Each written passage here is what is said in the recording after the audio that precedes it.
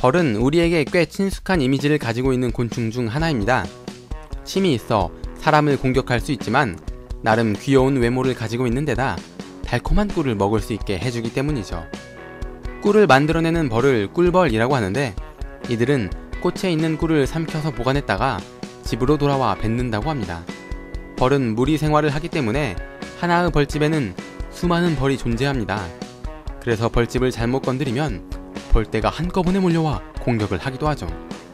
벌집은 신기한 구조로 만들어져 있습니다. 많은 벌들이 함께 살아가야 하기 때문에 방이 많기도 하고 특이하게 육각형 모양을 하고 있죠. 벌집의 모양은 왜 육각형일까요?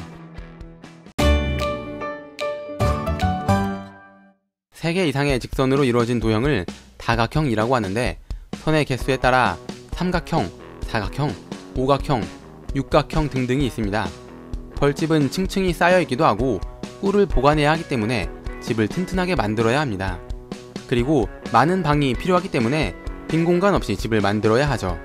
빈 공간이 없으려면 인접한 꼭지점의 각도의 합이 360도가 되어야 합니다.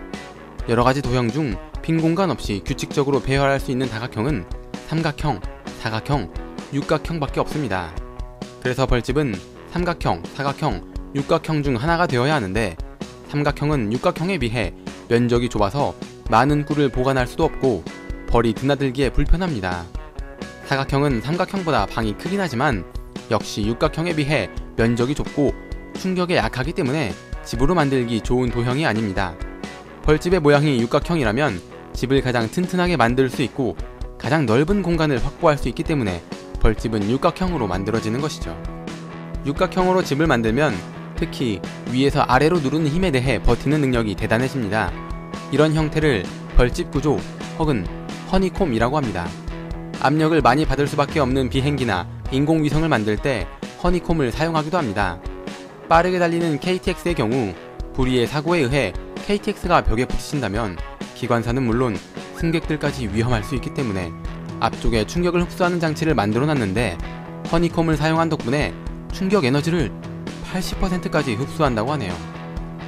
과거에는 이런 장점을 벌들이 알고 스스로 육각형 집을 만들었다고 생각해 엄청난 찬사를 보냈지만 연구를 통해 벌들이 처음 집을 만들 때 모양은 육각형이 아니라 원형이라는 것을 밝혀냈습니다. 꿀벌의 몸에서는 밀랍이라는 물질이 나오는데 이들은 이것을 이용해 집을 만듭니다. 처음에는 집을 원형으로 만들지만 벌의 체온에 의해 밀랍이 녹아 끈적한 액체가 되고 이것이 저절로 육각형이 되는 것이죠. 비눗방울이 하나만 있을 땐 원형이지만 여러 개가 뭉쳐 있으면 모양이 점점 육각형이 되는 것도 이와 같은 원리입니다. 영국의 한 연구진은 벌집을 관찰하는 실험을 했습니다. 그들은 새로 만들어지고 있는 벌집에 연기를 뿜어 벌들을 내쫓은 뒤 벌집 내부를 확인해 봤다고 합니다. 그 결과 새롭게 만들어진 벌집의 모양은 육각형이 아닌 원형이었다고 말했습니다. 우리는 벌의 언어를 할 수 없기 때문에 그냥 만들었는데 육각형이 된 것인지 의도적으로 원형으로 만든 뒤 육각형이 되게끔 한 것인지 알 수 없습니다. 하지만 충매화를 통해 맛있는 과일을 먹을 수 있게 해준다는 점, 달콤한 꿀을 먹을 수 있게 해준다는 점, 그리고 벌집 구조라는 것을 알게 해줬다는 점 때문에 고마운 곤충이라는 사실은 변하지 않을 것 같습니다.